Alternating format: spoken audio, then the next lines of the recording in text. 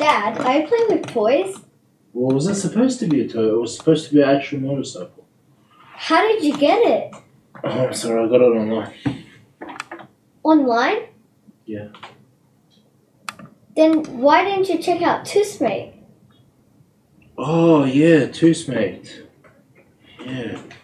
Damn, should have. Yeah. Toosmate.